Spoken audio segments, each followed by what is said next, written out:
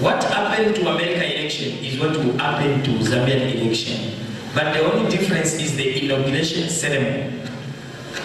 America is for D, Zambia is for R. R means R, D means D.